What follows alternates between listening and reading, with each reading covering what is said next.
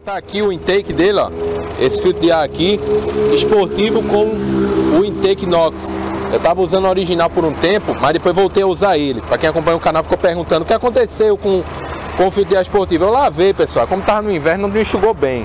Aí agora enxugou, tô de volta aqui ativa com ele. Bom, pessoal, aí aproveitando para gravar aqui, ó. Como eu tinha dito a vocês, o filtro de ar esportivo para uma via, uma rodovia, ele se dá muito bem.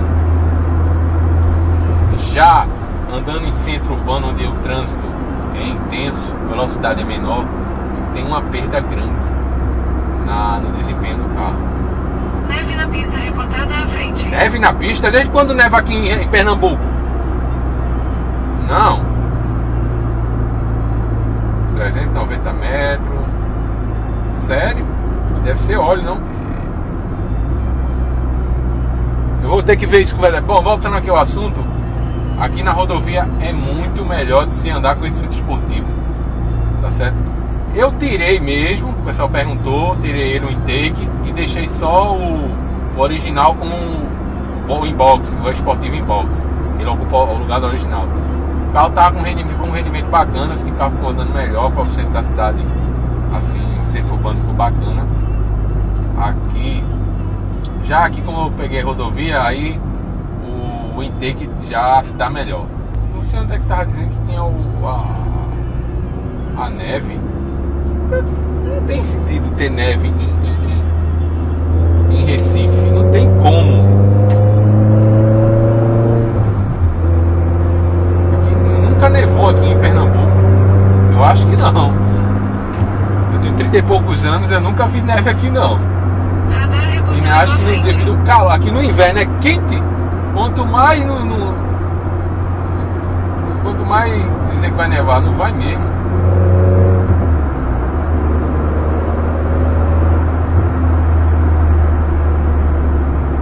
Tá vendo pessoal? Aí no caso aqui, para não sair muito do foco do vídeo, pronto, vou retomar aqui a velocidade, ó, quando passa no radar terceira, vou afundar o pé aqui, ó. Só que eu não afundo até o final. Um pouquinho. 3.500 RPM. Joguei a quarta. à frente. Ó, já tem outro rodar na frente pra andar. Rotações mais altas. O filtro de ar esportivo auxilia demais. Vou abrir um pouquinho aqui, ó. Já em rotações baixa, ele não auxilia não, velho. O carro fica com lag, o carro fica preguiçoso.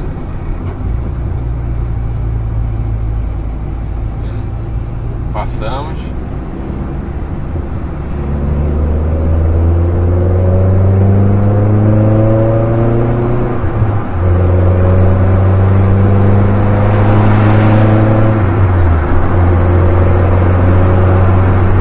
Agora aqui a gente vai, ó. Por que o gosto aumenta? Porque, consequentemente, a pessoa pisa mais, né? Radar reportado à frente. Pode até ver quanto é que tá o consumo do carro. Mas até o OBD2 está conectado ali. Só que fica meio complicado eu mexer aqui no celular dirigindo, então não é legal. Vou gravar outro vídeo, eu com, com um scanner e o computador de bordo vou ligar para ver o consumo do carro como é que fica. Tem uma pressadinha ali, querendo passar no radar de 40 em, em cima de 100. Aí ele vem, é bem ligeirinho, mas aqui eu vou progredindo aqui. 3.500, passei marcha, vou passar em 3.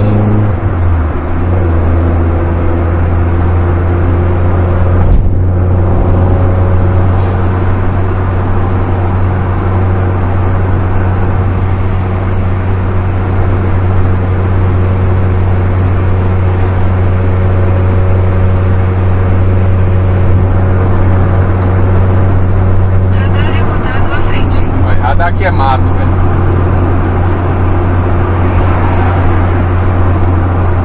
O ponteiro da, do combustível mexeu, velho.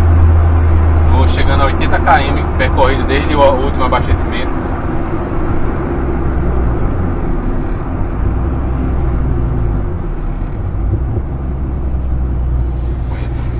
Essa reduzida aqui, quando o cara acelera para desenvolver, o consumo vai lá para cima. Ó. Mas contudo, é aquilo que eu já falei, andar em baixa rotação não, não é mil maravilha para precisa você acelerar mais um pouco, é para poder os gases do, do kart circular e o motor queimar. Esse carro não queima, mas queima também os gases do, do, do kart um pouco pela mangueira fina. A mangueira de maior ela vai para o, o reservatório esportivo. E para quem pergunta, não tá mal cheiro aqui dentro do carro, não, cheiro de óleo não.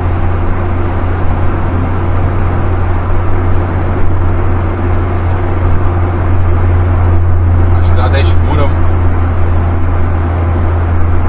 A é escura.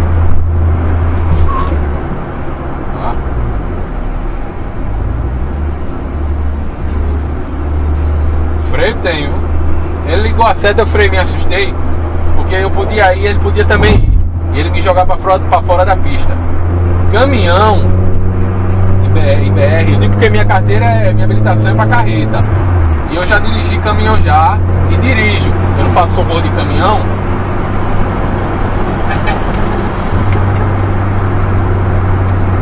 Quando ele liga a seta, ele vai. Ele tá pesado quando ele faz uma manobra, do jeito que ele vai, ele vai. Porque para ele desmanchar a manobra, ele pode até tombar com uma carga dessa aí, que a carga dele tá alta. Então é perigoso. Quando tá você andando em BR, você nunca fica na frente de caminhão, somente em, declive, descida. Ele tá na mesma faixa que eu, ó. Ele voltou para direita agora, mas ele tá a uma distância. Se eu ver que ele vai aproximar, eu saio da faixa que ele tá. Aqui tá escuro, eu não tô vendo nada. Agora tá subindo e eu vou cair aqui pra direita. Não tem caminhão atrás não. Então uma dica também de segurança. Já falei, comecei falando aí, perdoe, porque eu comecei falando sobre o filtro de ar esportivo, como é que tá, como é que dirigir ele na rodovia. Vendo? O carro trabalha aqui tranquilo, ó. ó mantendo a velocidade da via.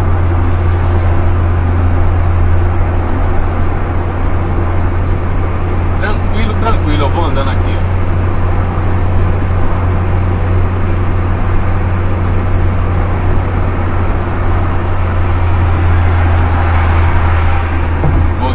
zero já vai embalado aí. Ó. Pegou o embalo, pelo, pelo jeito esse é 3 cilindros. Então pessoal, o filtro esportivo tem vantagem de juntar. Dentro de cidade eu renotei que ele tem um lagzinho, ele demora a, a acelerar. Porém, desses dias pra cá que eu fui limpei o coletor, o TBI, limpei o bico, o carro ficou outro. O carro tá mais, é, mais esperto, mesmo com o intake. Eu gostava muito também de usar o original, o inbox, porque eu achava que o carro fica mais, fica melhor de saída.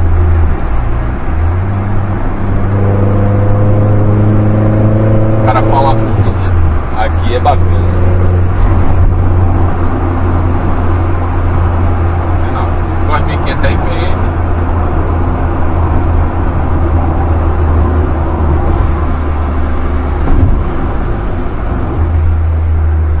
Reduziu.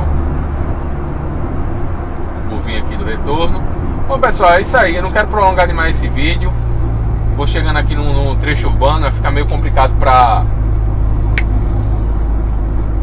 é, eu trazer, é, gravar, e começa a reduzir a velocidade aqui. Tá vendo? Ó, como é que fica. Tá vendo? Aqui é mais complicado para usar esses acessórios. Muito carro, trecho urbano, caminhão também atrasa muito. E é isso aí, é agora que eu vou encerrando esse vídeo. Agradecendo mais uma vez a atenção de vocês, desejando a vocês, fique com Deus, forte abraço. Até o próximo vídeo, se Deus quiser. Valeu, obrigado, fui!